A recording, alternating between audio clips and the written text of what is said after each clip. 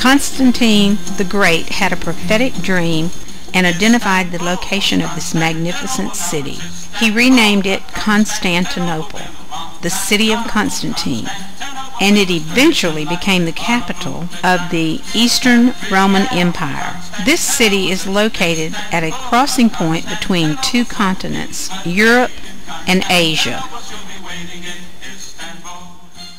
16th century and if you turn to your left uh, all the green area on your left with the little chimneys and a tower this is the Topkapi Palace Minarets. These tall towers you see on the mosque are called minarets, and they have spiral staircases that go up to the top where in the past years the tradition was for holy men called the muezzins to go up the stairs to call the believers to prayer five times a day, which is an Islamic tradition.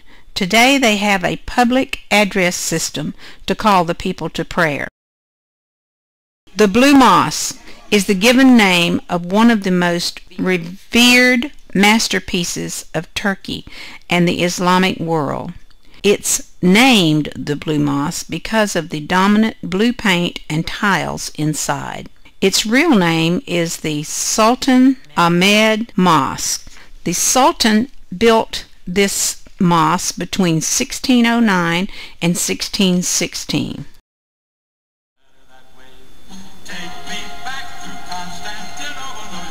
The Grand Bazaar is the oldest and largest covered marketplace in the world and is the center of the city. It has 60 lanes and 3,000 shops.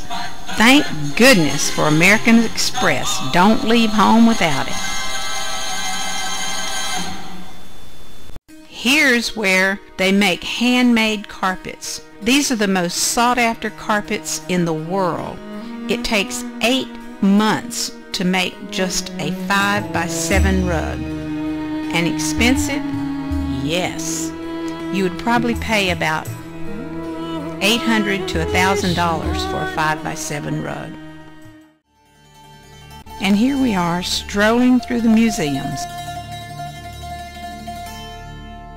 The Sophia Museum is often nominated by authors and historians as one of the eighth wonders of the world.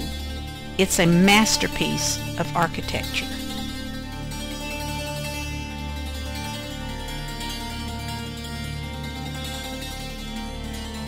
As we travel back, you can notice this is one of the most beautiful and clean cities in the world. Notice this ship. This is the Queen of England ship that was in port for four days while we were here in Istanbul.